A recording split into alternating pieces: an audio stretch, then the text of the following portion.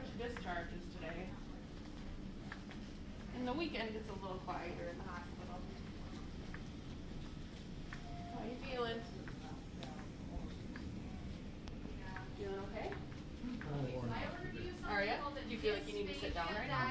Okay. That means your food is going to be Do you want to keep walking or do you want to do a shorter move?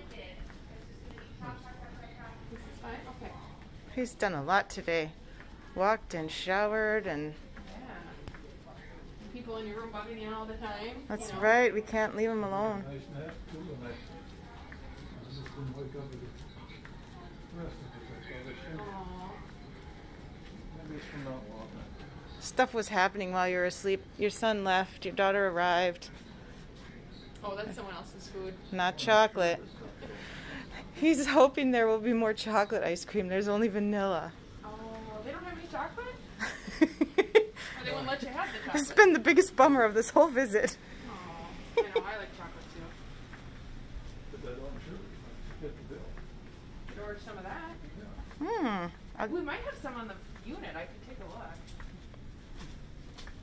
Maybe once we get you back in your room, I'll go, I'll go on our pantry and see if we have any. I know you'll be room service. What's that? I'll be room service.